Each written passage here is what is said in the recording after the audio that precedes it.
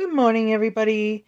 Today is Food Pantry Day, and this week is the Staples week as well, so we got an extra box, and you do that once a month.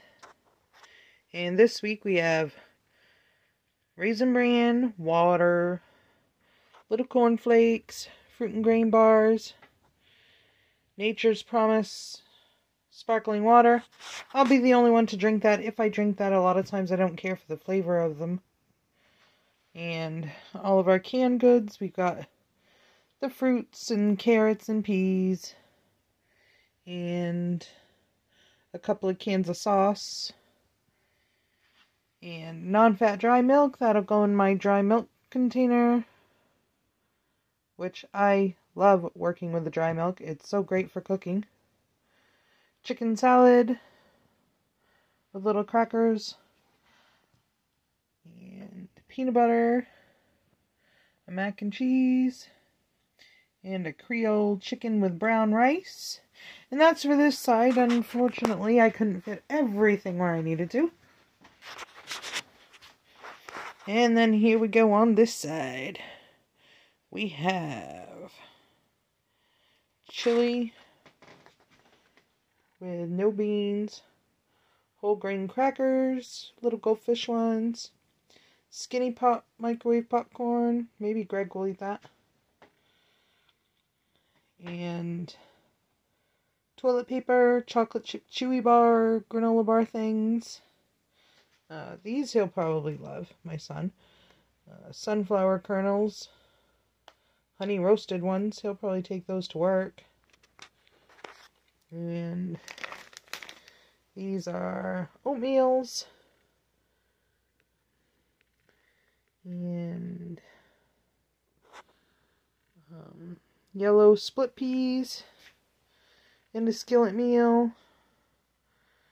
Ready rice. Macaroni. Uh, grape juice boxes. Various lunch meats and flour. Wheat flour. And apples in the bag. A chopped bag kit, but that's October 29th. It probably, I will not eat that. And then various fruits and vegetables up here. Lettuce, potatoes in the bag, little tiny squash, radishes,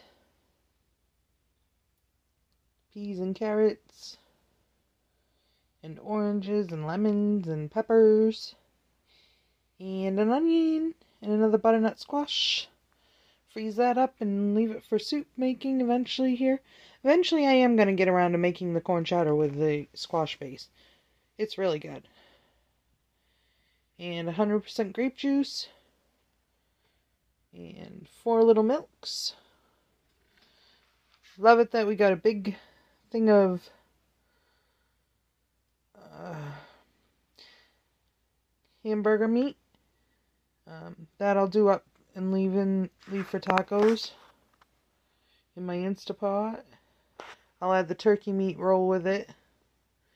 And a real treat is boneless, skinless chicken breasts. And they're all individually packaged. That's good. Uh, with the other kids not being around so much. Greg, I, you know, I don't have somebody to eat constantly. Green beans, tomatoes, cookies, a wheat bread, little ciabatta roll things and little tiny rolls, and an Asiago bread, and a big cake. My daughter will love that because she said she's been craving one, so there we go. And then she doesn't have to cook it and make a mess. Woohoo! Even better for mommy. But um but that's my food pantry haul for the morning.